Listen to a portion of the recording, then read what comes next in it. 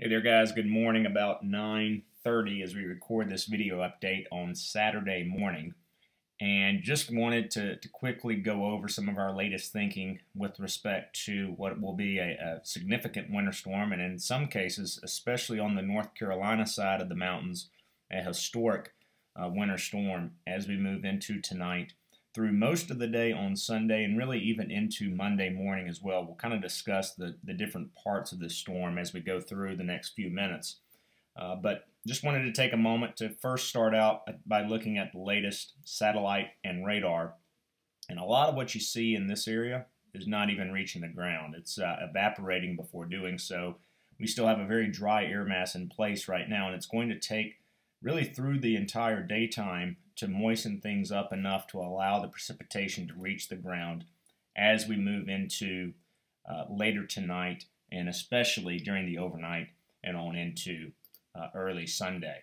So we'll take a look at forecast radar. A couple of things to keep in mind here as we stop this around 1 o'clock this afternoon. Some snow beginning to develop across southwest North Carolina, including Asheville. This is a cold rain across southeastern portions of Tennessee. And it will take its sweet time moving north as we progress through the, the afternoon and into the evening. It'll slowly move up the valley. And I think it's as we get towards 9, 10 o'clock, that's when the first flakes will start to fall across uh, Mountain City, Johnson County in particular. Obviously, the mountains a little bit sooner in North Carolina will start, it, start to get in on the snow. And as we stop this around 11 o'clock, that's when the moisture and the significant moisture at that will begin to really begin to overspread all of northeast Tennessee, western North Carolina. And uh, snowfall intensity will only pick up uh, throughout the night as we go into tonight and into Sunday morning. Continuing to advance this, notice most of uh, northeast Tennessee getting in on the heavy snow as we stop this at 4 o'clock Sunday morning course, all of western North Carolina uh, in the snow. And by the way, for that matter, I still think this is primarily a snow event for Johnson County in particular. Uh, may see a little bit of sleet initially, but for the bulk of this storm, should be mostly a snow event. And as we continue to advance this at 10 o'clock, heavy snow falling Sunday morning across all of the area on into the lunchtime hour as well.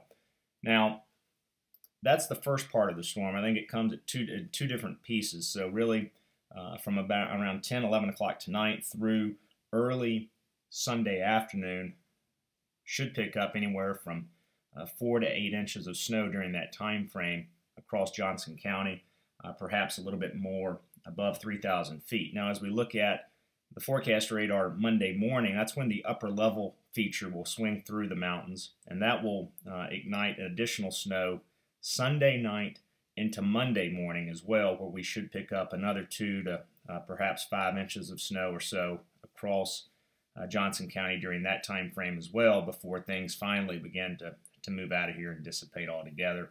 Really just left with some uh, drizzle, clouds, or some snow flurries as we move through uh, Monday afternoon. The bulk of the action will certainly be over with by Monday morning, but the damage will be done by that point. Widespread 8 to 12 inches expected across uh, Johnson County. Uh, amounts in excess of a foot expected, uh, really from Trade, Forge Creek on, uh, certainly over onto the North Carolina side.